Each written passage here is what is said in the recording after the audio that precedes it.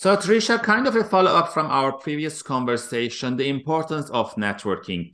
Your network is your net worth. That's how I found my first job. I knew someone who knew someone, they were hiring. They just put my resume on top of each other because the recruiter trusted this person, and the rest was on me in, in terms of preparing and doing the interview. Absolutely. But still, and again, I tell this to my students at the university the whole time you're at the university, the only thing that you can do is network, build seats, build those relationships because you don't know from now till three years where where your job will be. Even as we talk, like I network also because I don't know what's going to happen for the future. So how can we tell the new immigrants or international students they are not used to this networking? Like, what am I going to do? Like, and they're not seeing like from now till six months how these seeds will grow. So how can we convince these people? Yeah. So the thing with networking, especially if you're in a new environment, if you're in a new country, yeah. if you are not someone that is going to walk up to a stranger and say, Hey, my name is Tricia. um, it is an easy thing to start with interest where you feel confident. Mm-hmm. So let's say you're, you know, a computer programmer, you're new to the US and you're like, I'm trying to make some connections. Maybe you don't go to a, a huge conference right out of the gate maybe see if there's some smaller communities that are aligned with your interest yeah. and start there you know at least you know going in that there's going to be you know some commonalities some mm-hmm. similarities you'll be able to kind of talk the language and yeah. make some connections that way um, another thing that you could do to start to dip your toe in the water and linkedin yeah. is great for this for sure. is online communities. Like if yeah. you know that you're going to be relocating somewhere, you can kind of start doing some of that that work on the front end before you even get to your destination with the wonderful world of the internet and yes. things like LinkedIn and different online communities and things like that. So you can start kind of building gradually. And then once you get here, you can maybe start following up on some mm-hmm. of those works or some of those connections.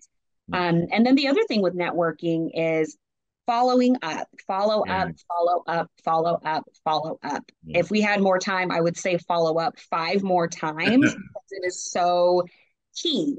Yeah. We're all busy individuals.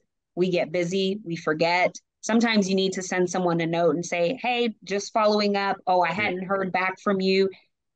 And that's fine. Sometimes you'll get a response back and it's like, oh i'm so sorry the week you know just kind of got away from me. Let's schedule some time. Or hey shoot me a note in this time frame and we can you know circle back or follow up. Exactly. Yeah. so follow up follow up follow up is is key. Yeah.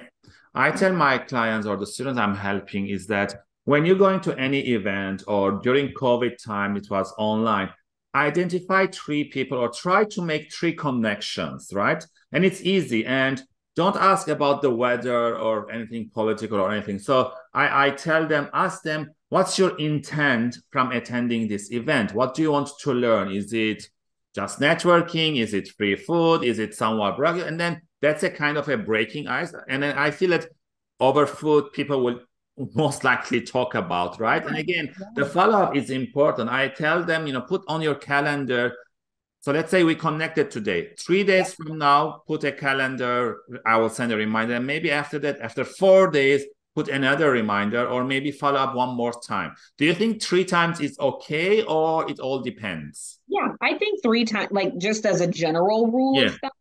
three works. Um, I think you kind of have to take it with a grain of salt based on the interaction yes you had with someone. So, you know, you might have person A where you guys just had a very surface level conversation. You didn't really make too strong of a connection. Mm-hmm. You exchange information versus person B where, you know, you maybe gave them a rundown of what, what your background looks like. You learned some information about them, found out yeah. some additional commonalities. Mm-hmm. That one you may want to try to spend a little bit yeah. more time versus this other person. But after you've done your, you know, three follow ups, give it a little bit of time. Yeah. If you've added them to your LinkedIn, you can see where they're active, see where they're yeah. moving. And instead of maybe sending a note, maybe get into the conversation via a comment or on something where, oh, I remember this from our conversation. This may be something yeah. they might be interested in. Yeah. And then that way you might supercharge and get that conversation going again.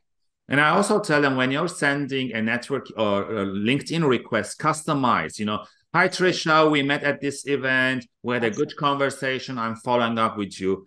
Another thing you can also do is that in the comment section or the activities, you can comment what they've done and they will get a notification. You're kind of preparing or researching this person, and they will get, okay, this person is genuinely interested in building a relationship so that you can have that conversation. But don't ask them for a job. A lot of times I get network, I get LinkedIn requests. And sometimes I have the feeling, okay, either they're going to sell me something or automatically, hi, this is my resume. Can you help me?